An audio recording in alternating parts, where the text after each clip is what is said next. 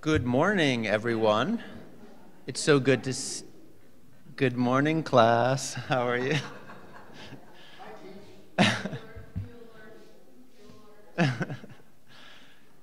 so good to see everyone this morning on this brisk morning in Naples. Doesn't it feel great?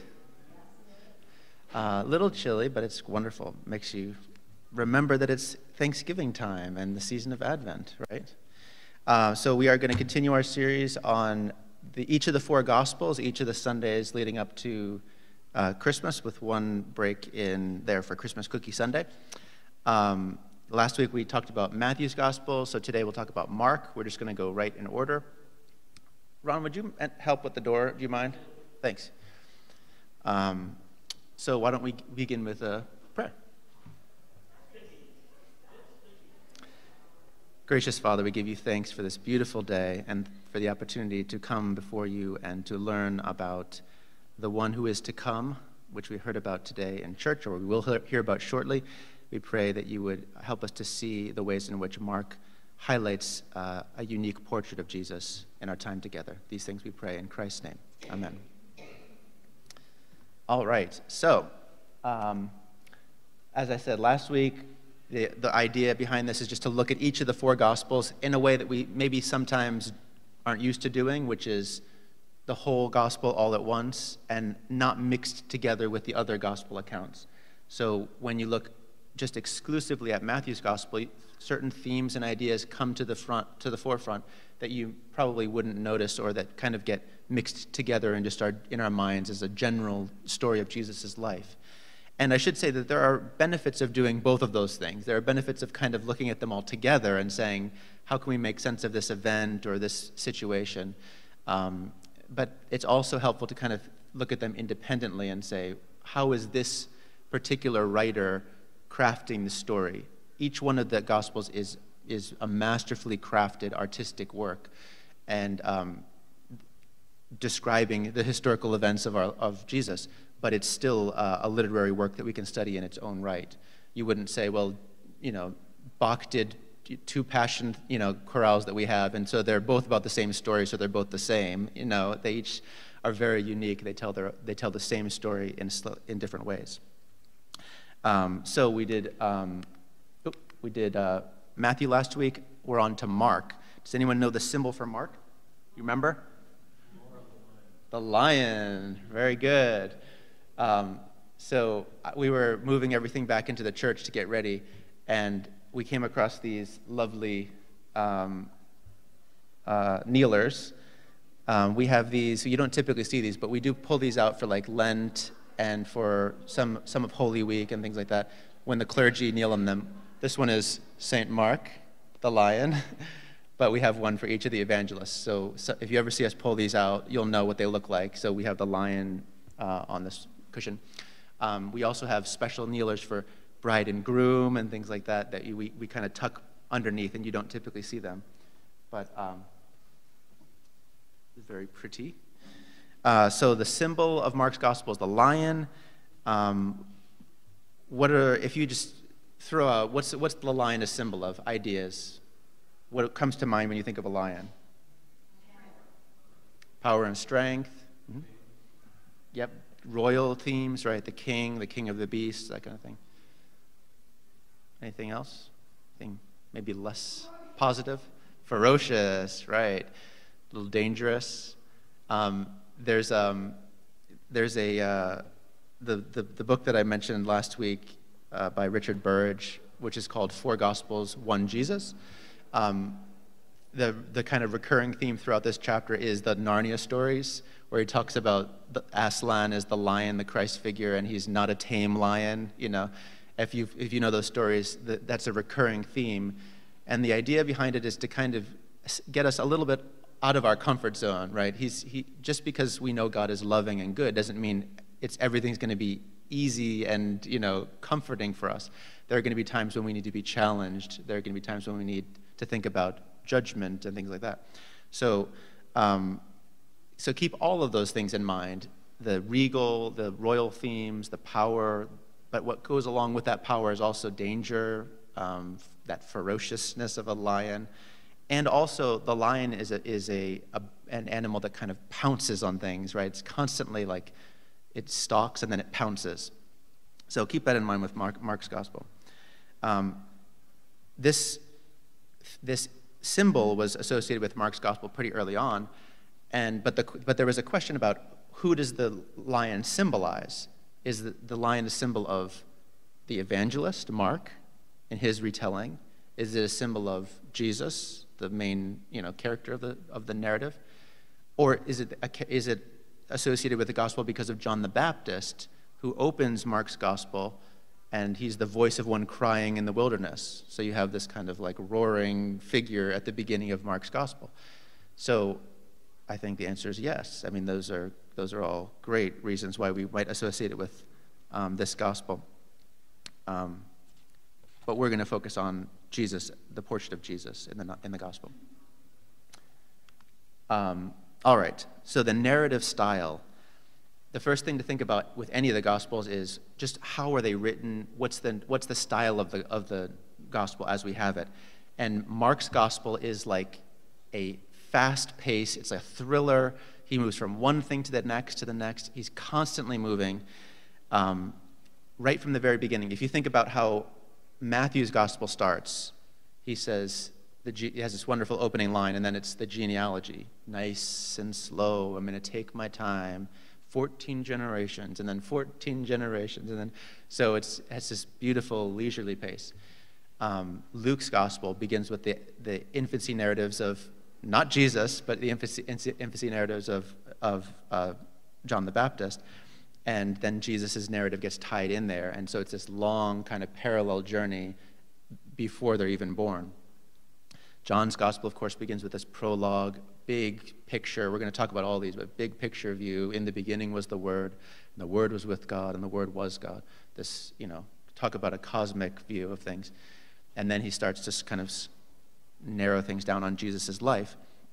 But Mark's gospel is the beginning of the gospel of Jesus Christ, the Son of God, as it was written in the prophet Isaiah. And he jumps right in and ta- starts talking about John the Baptist there's the voice of one crying in the wilderness, Prepare the way of the Lord. And then Jesus comes and is baptized, and then he goes out into the wilderness and is tempted, and then Jesus' ministry begins. And all of these things are connected by either a simple and, like this happened, and this happened, and this happened, and this happened, and this, instead of like three days later or, you know, a week after that. Or by the word immediately, which happens more often in Mark's gospel than the entire New Testament combined. So he's constantly saying, immediately this happened, and immediately that happened. Then immediately the disciples came to Jesus, and immediately he said, I mean, it's, if we translated every immediately, it would be almost unreadable in English. Likewise with the ands. Um, so the and is a, is a, is a Semitic way of express of talking. The, the, the Hebrew Bible is the whole thing is like that and this and that and this and that and this and that. In Mark's gospel, he's retaining that kind of Semitic way of, of talking. But the immediatelys add that sense of the urgency, the quick pace, the lion is on the prowl, or whatever, however you want to think about it. Another thing that Mark uses, which is um, in some ways, unfortunately, not typically translated into English, is the use of what's called the historic present. So you've, you've all heard people talk this way, and it's grammatically incorrect, but they'll tell you about something that happened. So I was in a car accident earlier today, and the police officer says, says to me, you know, in present, you know, like, well, he didn't, he said to you, no, no, no, he says, because they want you to, like, be there in the moment. Um, it's, Mark uses that constantly in the gospel. It's like all over the gospel. So, he says it all the time. he says it all the time. Um, so that use of the again, it's it's he wants you to feel like you're right there with him, walking through each of these accounts, each of these stories. Um, also, the first eight chapters of Mark's gospel, there are almost no time markers. Um, like the other gospels, it'll say like on the first day of the week or three days later or something like. This was the feast of the Jews, you know, the Passover feast of the Jews like Mark's gospel, is very few time markers, which is like when you're in a grocery store and there's no windows and no clocks, and you, have no, you could be there for 15 minutes or you could be there for three hours, and it's all the same. It's, it's light when you go in, but it's dark when you come out. Like those, it's the same kind of feeling in those first eight chapters. No time markers, it's just the story. That's the only thing that matters is what is happening in and through Jesus. Um, he also, um, I already said he links a lot of the passages with and. He also um, rushes around a lot in that first chapter, the first chapter of Mark. If you read that, that's supposed to be like a day in a sense, but it's like way, it's so much stuff to, to do in one day. It's a lot of stuff. Um, what he's doing is he seems to be introducing all of the kind of major, you know, major themes, not themes really, but the, the, occurrences, the events that are going to happen in the gospel. He's introducing those in seed form in this one opening, you know, sprawl of a, of a narrative.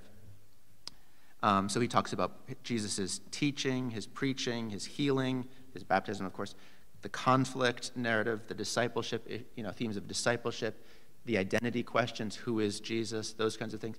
All of these things happen in the first chapter, and then they're teased out throughout the rest of the narrative. The last thing I'll say is the Markan sandwich, which may have been getting you hungry as you're listening to this, this talk. The Markan sandwich happens, he's, he's sort of famous for this narrative technique, which is basically uh, two stories where the one story gets split in half and there's a, a story gets plopped in the middle. So instead of telling the first story and then moving on to the second story, which is what Matthew and Luke do, he tells the first part of the first story, then he tells a completely separate story in the middle, and then he goes back and finishes the first story. Have you no, has anyone noticed that as you're just thinking, as you've been coming to church? Has that ever jumped out at you? So let me give you an example of one. Um, the uh, uh, Jesus here, uh, the centurion comes to Jesus and says, My child is sick. Will you come heal my daughter who's sick? So he says, Sure. So they're on their way. Then Jesus stops on the way because he says, Who touched me? And there's a story of the person who, the woman with the hemorrhage, and she touches Jesus. And the disciples are like, You're in a crowd. You know, why are you scared? Why are you, you know? But they have that, they have that whole uh, discussion with the healing of the woman with the hemorrhage. And then after that story is done, or after that concludes, then they go on and finish the story with the centurion. So it's called a sandwich because you have like the bread and you have the meat, okay? And those stories are not, he doesn't do this randomly. They're, they're, again, that's part of the artistry of the gospel. He's putting them together because the two stories are supposed to kind of teach you about one another. Usually the middle story is the main point, and it helps you to understand what's happening in the larger story but it, that's not always the case. But in any case, whenever you see that, another one that's very famous at the end of the gospel, he comes up, he's outside of Jerusalem, right? Right. This is during Holy Week. He curses the fig tree, and that's all you hear of it. And then they go into Jerusalem. He goes into the temple. He overturns the temple. How are you making this house a house of, uh, you know, my house of prayer, a, a house of commerce? And then he comes back, and the fig tree is withered. And the disciples say, that's the tree you cursed the other day, you know. So two, it's one story that he splits in half and he puts the, another story in the middle. And it, one of the ways you can see these very clearly is if you compare it with the other gospels where they, the cursing of the fig tree happens immediately. He curses it and it withers. Okay, so you get so these are all ways that tech, little techniques that Mark uses in terms of the way he structures his gospel. Um, the first eight chapters that kind of running through Jesus' ministry, it's all up in Galilee. Um, in John's gospel, he goes down to Jerusalem and he comes back up to Galilee and he goes down to Jerusalem and he comes back up to Galilee and he goes down to, back and forth constantly, at least three times. In Mark's gospel, it's all in Galilee, then they go to Jerusalem, and it's Holy Week. That's it. So it's a very simple narrative structure in terms of the geography and all that. Um, he um, he is called a teacher in those first eight chapters a lot. People come up and say, Rabbi, teacher. So clearly, he, that's how he was known, um, or one of the ways he was known. But he does very little actual teaching in Mark's gospel in those eight chapters. There are a few parables, there are a few moments where he kind of stops and says, This is what I'm talking about, this is what I want to I want to explain something. But for the most part, he's just called a teacher. Whereas, as we saw with Matthew last week, he's not just called a teacher, but he has these huge teaching blocks where all he's doing is just, it's like Jesus said, and then it's open parentheses, and then it goes on for, for chapters. Um, which is why when you get those on a Sunday lection, we have to constantly put, you know, Jesus said, or Jesus said to his disciples at the beginning, because it happened two chapters ago, but we have to remember, remind you that who is talking. Um, so here, he's just called a rabbi, but he seems to be presented more as a, as a man of action. He's going out and doing things. He's a, he's, this is, he's a miracle worker. He's doing great signs. He's healing. He's casting out demons. He's preaching and teaching, but that's almost like an action in itself. It's not the content so much that he's focusing on. Um, the other evangelists all talk about Jesus' signs and wonders, especially John's gospel. We'll talk about that when we get to John. But the whole first, chapter, first half of John's gospel is sometimes called the book of signs because Jesus does something and it's very significant. You have to pay attention to what he's doing and why.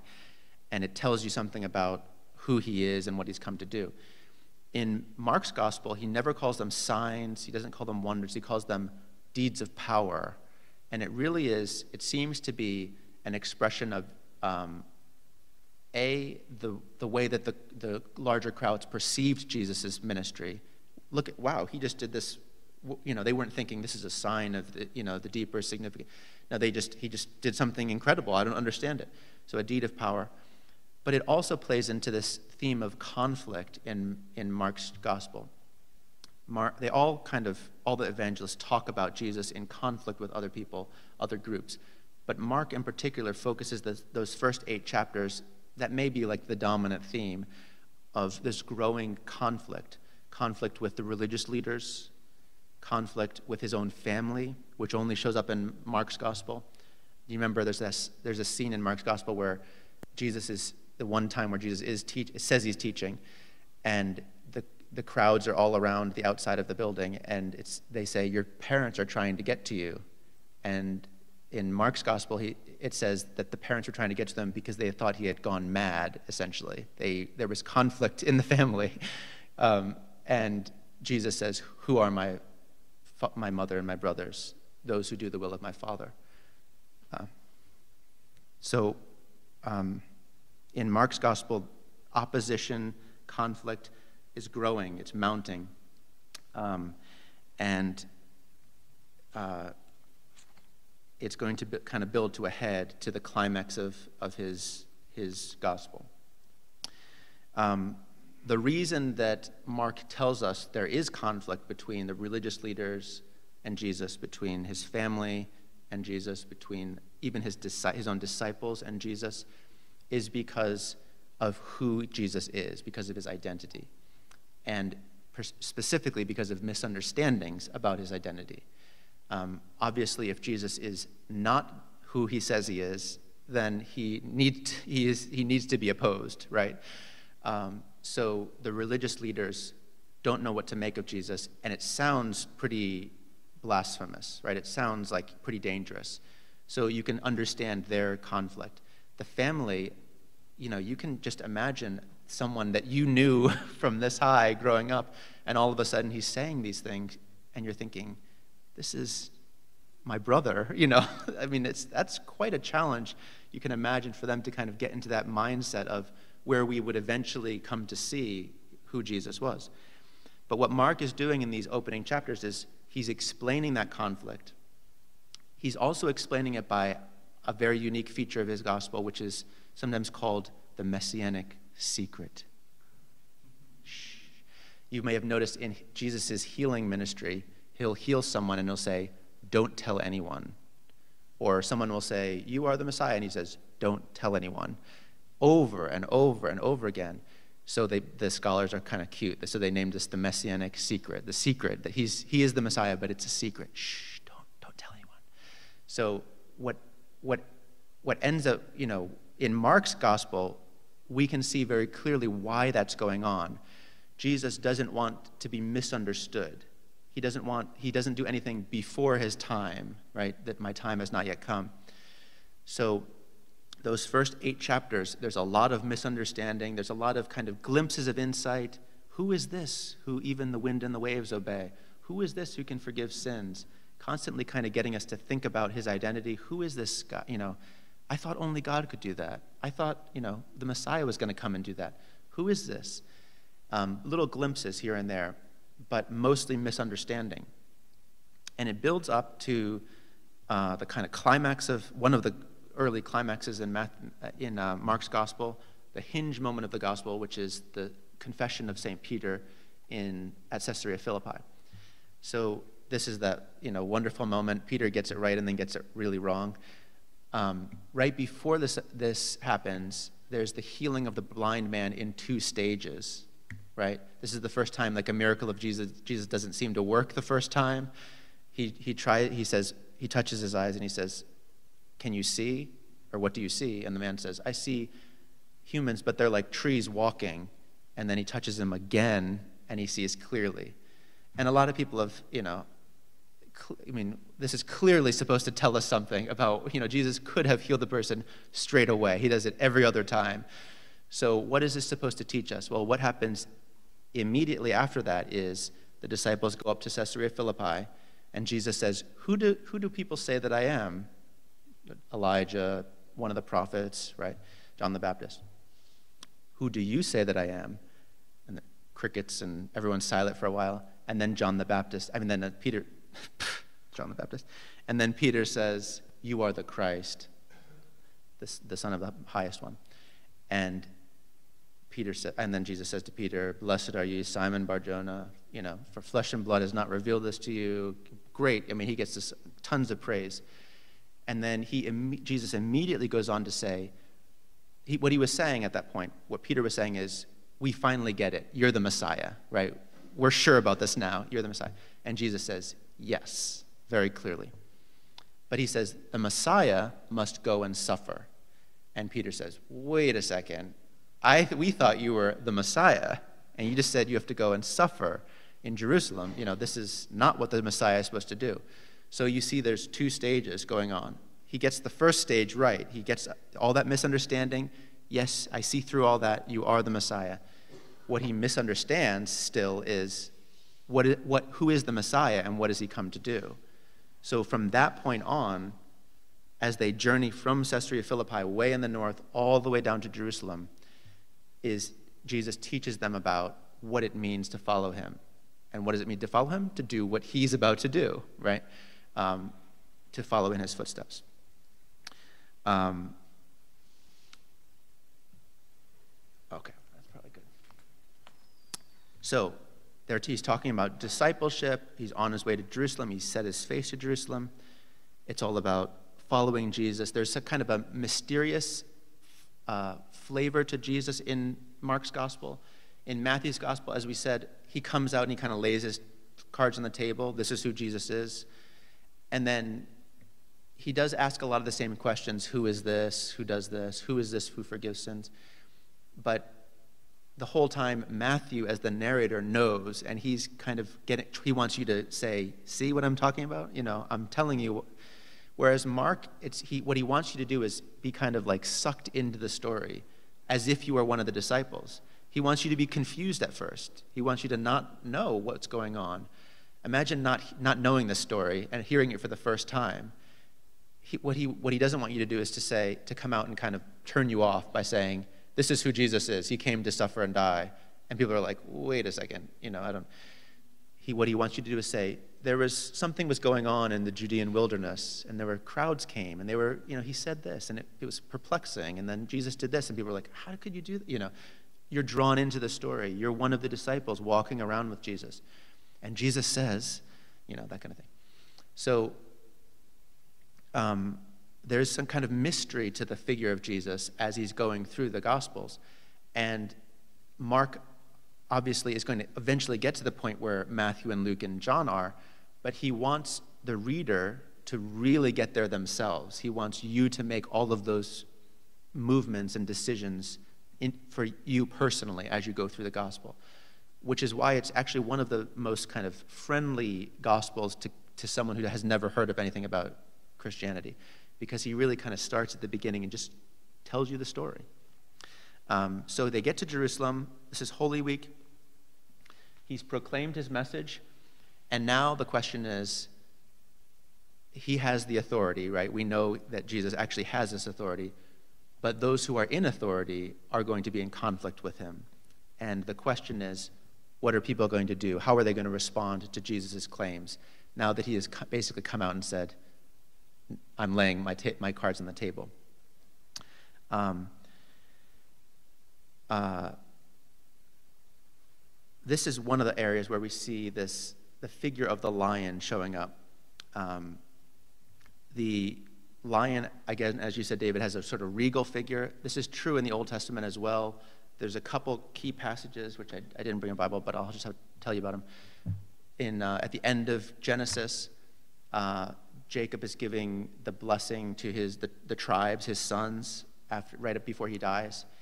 And so each of the tribes, he says, you know, Reuben, this is what I'm going to say about you. Asher, this is what I'm going to say, each of them. And then he gets to Judah, and he talks about the Judah as a lion's whelp, and how he's going to have be have the scepter of the kingdom, and he's going to rule over his brothers, you know, etc. So he, there's this regal image built into that blessing to, uh, from Jacob to his sons.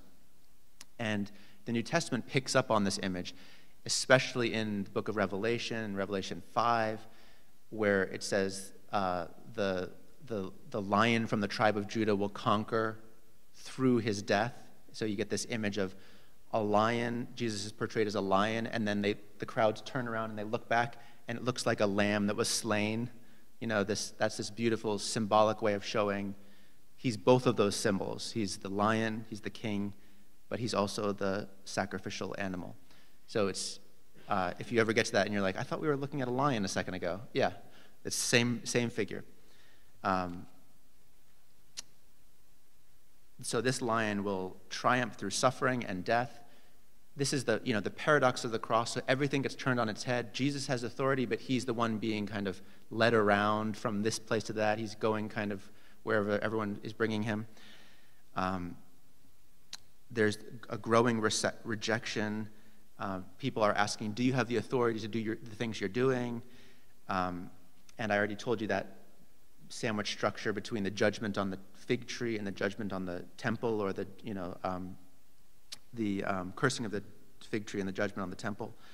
Um, then Jesus comes back out from Jerusalem. He's sitting on the Mount of Olives, and he gives the, the largest teaching block in, Mark, in Mark's Gospel, which is chapter 13. It's almost the, it's the entire chapter, basically.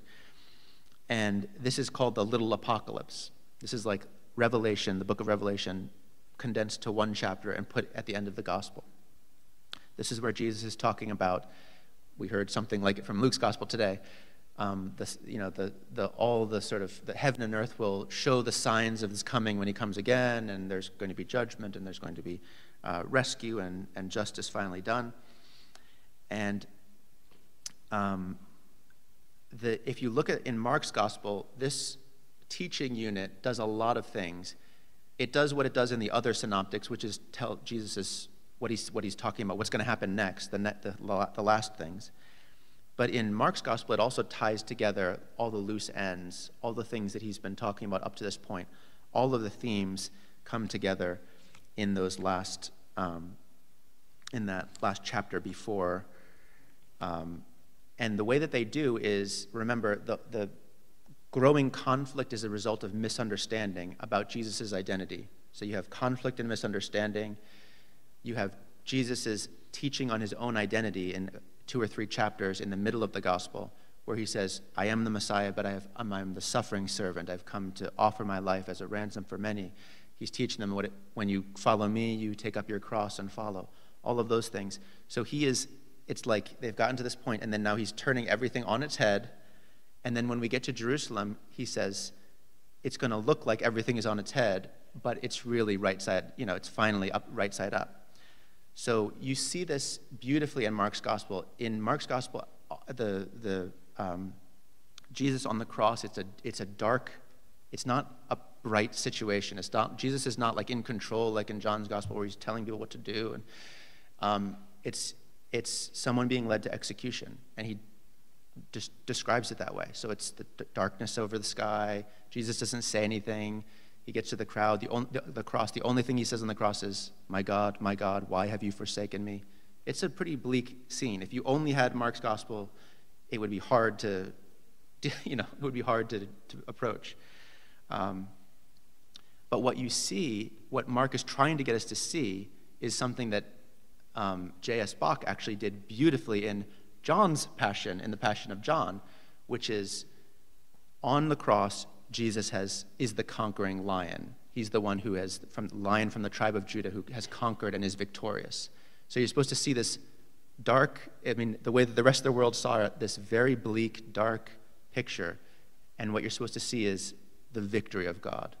So if I, if I can get this to work, I'm going to try to play you a little uh, clip. This is one, one little movement from uh, the St. John Passion, and the translation is next to you.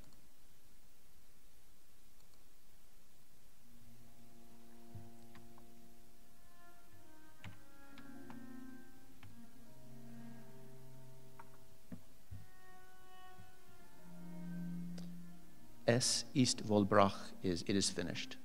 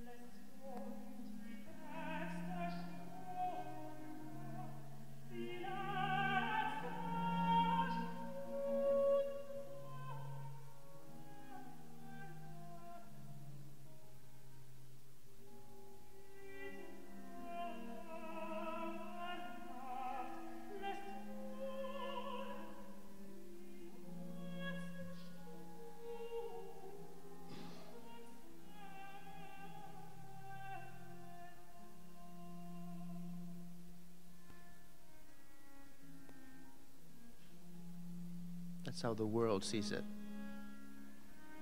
This is how Mark wants us to see it now.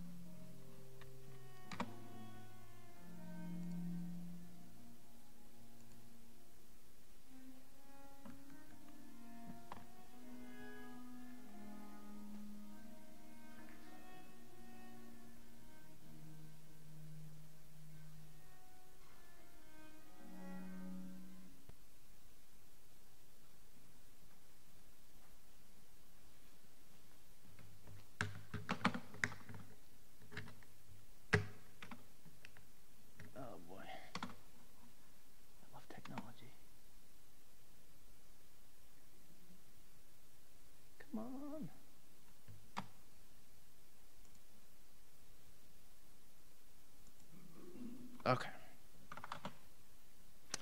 So if that spoke to you musically, the idea behind what Mark is trying to do there is that that just sort of that beautiful melodrama, mel melodrama the, the darkness, the sorrow. But he says underneath all of that, what's going on is the lion of the tribe of Judah conquering. Um, uh, so whether that was helpful or not, I'm not sure. Um, the lion conquers, of course, through death. All of the themes of his gospel now come together power and conflict, discipleship and misunderstanding. We see what, you know, what true discipleship looks like because we see that everyone has misunderstood Jesus and his true identity, his identity and his authority, his kingship and how it's connected to his suffering. And, um, and then we see in the trial and the, uh, the trial of Jesus, we see his true identity come out. Peter's denial and Jesus' own confession, right? Peter, who says, I'm never going to leave you or forsake you. And he bears false witness, and Jesus bears true witness. Um, Jesus on the trial, this is, one of, this is the, the clearest moment in all the Gospels, but it's the first moment in, in Mark's Gospel where Jesus gives a sort of straight yes answer to, Are you the Messiah? And he says, I am, which is, again, that way of describing, it's the way of sort of naming God in the Old Testament, I am. Um, and you will see the Son of Man seated on the, the clouds of heaven, coming on the clouds of heaven. So he picks up that image from Daniel 7 of the one who is coming to rule with authority, the king, the coming king. And Mark continually, continuously uses irony throughout the whole gospel, and it's very thick in the, in the passion narrative. Um, we see um, he's anointed for his burial. He's anointed as king for his burial, so there's a double meaning there. He's described as the king of the Jews over and over again, but again, in, usually in a mock way or an ironic way. And this, the soldiers, again, in mock homage, put a robe on him, you know, strike him. Um, sorry, one more. Um, you also see the irony of Mark's understanding of, of e- evil and the providence of God. Um, the irony is that Jesus is, that people are, are conf- confronting Jesus, they're trying to stop him from, do, from doing whatever he's doing. And the irony is that they're fulfilling God's purpose in doing that. Um, so the cross, again, is the key that unlocks all of the puzzling elements in the gospel, the things that didn't make sense as you were going through them, all of a sudden make sense um, in terms of the larger narrative. Um, Mark's gospel ends with the same sort of sort of ambiguity and the same kind of questioning tone that it begins with. Um, in, in all the other gospels, you have some sort of fairly elaborate, in terms of drawn out, resurrection story. In Mark's account, uh, in your Bibles, it, the first eight, eight verses of that last chapter, and then after that, they'll sometimes include this is not part of the earliest manuscripts, but you know it, it got tagged on later. But those first eight verses, they talk about the women coming to the tomb, Jesus' tomb being empty, and it says the angel tells them to go, he is, raised. There's an announcement of his resurrection. And then it says that they left because they were afraid. We don't know if they went and told. We don't know what the male disciples did. You know, we don't, there's no actually, there's no appearance of Jesus, the raised Jesus. So that secrecy, that ambiguity that the gospel begins with, and it's been working through the whole narrative, it continues even into the resurrection account.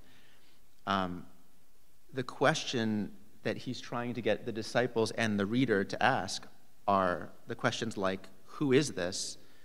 Will they follow or abandon him? Will they believe or will they misunderstand? And just like he wanted you to be part of his early ministry, just like he wanted you to kind of be sucked into the story and be standing with Jesus at the foot of the cross, he also wants you to be feel the kind of the the the fear, the excitement, the